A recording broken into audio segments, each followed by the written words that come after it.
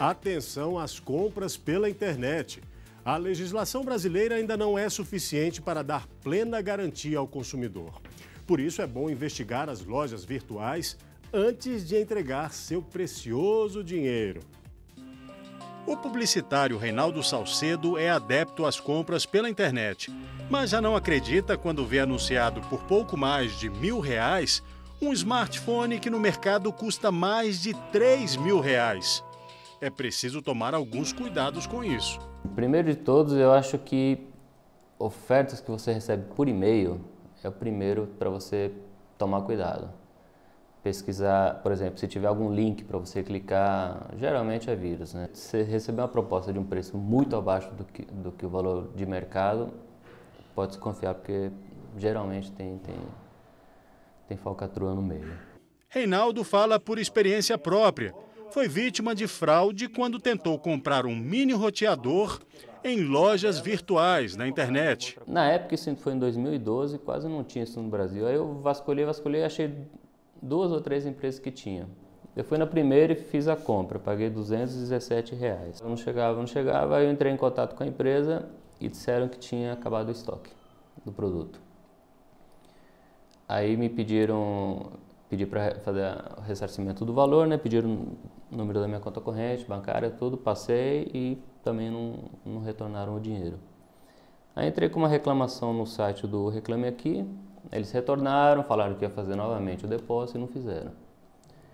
Aí disponibilizaram o valor em, em crédito para comprar no, no, site. Eu escolhi outra coisa, também pedi, também não entregaram. Aí eu fui na delegacia do consumidor e fiz a queixa lá. Aí esse processo rolou, acho quase um ano aí também não, não, não me deram mais retorno. O desejo de ter o equipamento era intenso e ele fez uma nova tentativa. E depois eu acabei entrando em outro site para comprar o mesmo produto, paguei mais 259 reais e também não entregaram. Também disponibilizaram crédito, pedi, pedi outro produto e também não entregaram. Os golpes serviram de aprendizado. Cada vez mais a gente vê mais situações de fraude, de, de, de é, sites que, que são montados especificamente assim, para capturar informações de cliente ou para vendas falsas que não entregam produto. Então é, é complicado. Você tem que pesquisar mesmo o nome da empresa, o CNPJ, ver se existe, ver se tem reclamações dela no, no, em alguns sites de, de, de, reclamações, porque cada vez mais tem pessoas lesadas. A gente, a gente não tem ideia assim num, num, quantitativo, porque acho que até muita gente nem vai atrás de fazer queixa, ocorrência, essas coisas, né? Então, eu, eu mesmo fiz de uma e não fiz da outra, então você vê que aí já você tem um furo de pelo menos 50% na estatística, né, da, das fraudes, né? Passei a ter mais cuidado, né, assim, ter mais critério na seleção das, do lugar onde eu compro, comprar de empresas idôneas, empresas grandes, já conhecidas, não? Essas aqui mesmo nunca tinha nem ouvido falar das duas, então eu arrisquei e me dei mal, né? Para Reinaldo, conhecer o Código de Defesa do Consumidor antes de comprar. Isso é importante. Você saber o prazo, até às vezes você, você tem o prazo ali de, de, de, de arrependimento, por exemplo, que acho que pouca gente sabe. Você tem o prazo de, de ou comprar na loja ou comprar no site, são prazos diferentes. Então isso tudo é bom. É bom as pessoas até darem uma pesquisada antes, né? E ficar de olho na garantia, nas ruas, todo mundo sabe, um produto entregue com defeito ou um mau serviço prestado por uma empresa na internet, se for divulgado pela vítima, pronto. E a partir do momento que você porta, se a empresa for séria, ela vai correr atrás para poder recuperar a imagem dela e também saciar os danos que aquele cliente sofreu. Com as redes sociais, isso, ou seja, ou ela toma uma atitude ou a imagem dela vai para o lixo em questão de pouco tempo. A equipe dessa agência em Brasília trabalha para que a imagem dos clientes não vá para a lata do lixo. Tudo que se fala sobre eles nas redes sociais é monitorado. A gente monta a estratégia customizada para ele. Mas nós temos clientes que fazem monitoramento diário, outros semanais e outros mensais. O importante é o quê? É a consistência desse monitoramento. É que ele aconteça num período de tempo de uma maneira organizada para que a gente consiga mapear uma tendência do que está acontecendo com determinada marca, produto ou serviço no, nas redes. Há situações em que a agência pode agir, mas em outras, não. Depende mesmo do cliente. Um exemplo disso é qualquer e-commerce. Se o produto chegou danificado no cliente e ele reclamou nas redes sociais, não adianta você ficar dialogando com ele, o erro aconteceu. O erro foi um erro da área de logística e de entrega. O que a empresa precisa fazer é recolher o produto e entregar um novo produto dentro do prazo, dos do Código de Defesa do Consumidor e de toda a legislação vigente para isso. A internet, como canal aberto que dá voz amplificada ao consumidor, pode ser sim usada a favor das empresas.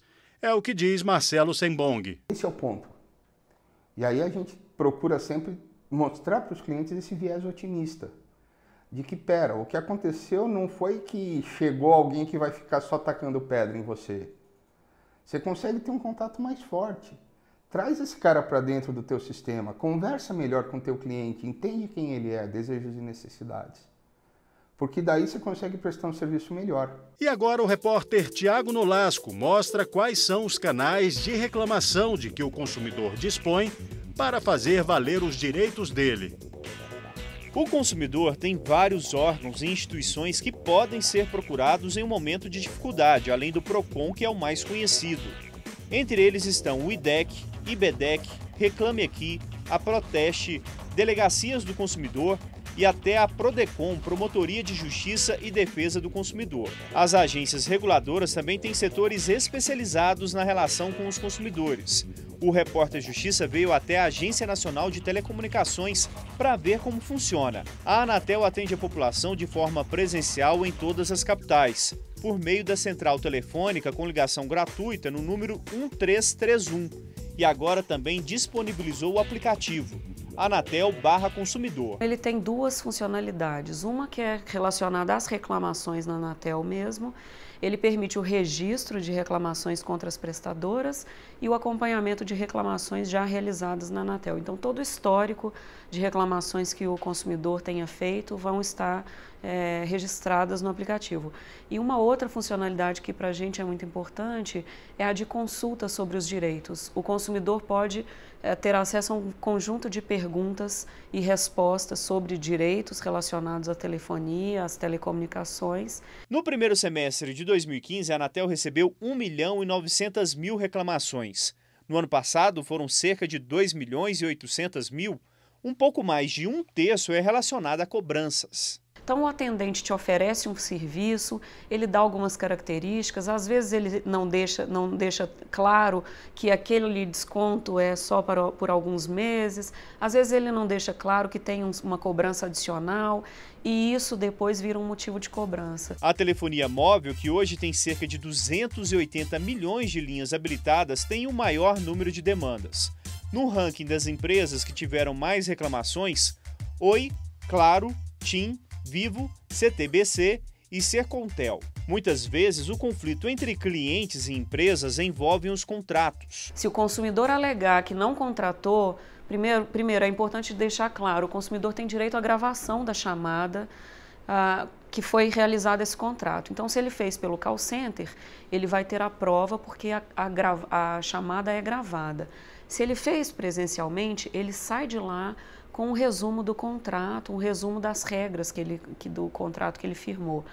E se ele alegar que não, teve, que não teve aquela explicação e que ele não contratou aquilo, cabe à operadora provar ou cancelar sem nenhum ônus. Agora vamos mudar um pouco de assunto. Lembra do Reinaldo que comprou mini moldens e não recebeu o produto? Com a Amanda aconteceu uma situação parecida, mas foi na compra de um celular. Eu recebi indicação de alguns amigos meus que já tinham efetuado uma compra com essa loja e foi receberam um produto e eu achei que era confiável. Então eu efetuei a compra e mantive contato com o vendedor durante aproximadamente um mês, que era o prazo de entrega para o produto chegar na minha casa. É, depois desse prazo, o produto não chegou e eu também não obtive mais nenhum tipo de resposta do vendedor, nem por e-mail, nem por Facebook. Não consegui entrar em contato com ele. Ela precisou recorrer ao PROCON e depois foi à Justiça mas conseguiu receber o dinheiro de volta. Procurei o TJ, né?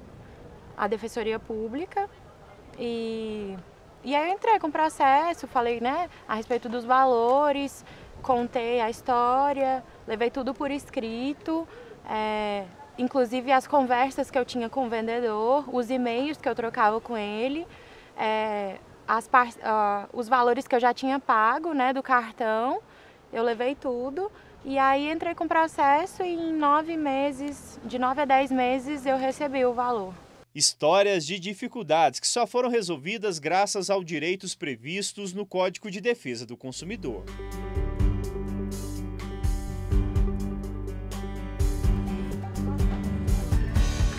O programa de hoje termina agora, mas continue com a gente na internet. Reveja nossos programas em tvjustiça.jus.br. Eu volto na semana que vem com mais um Repórter Justiça. Até lá!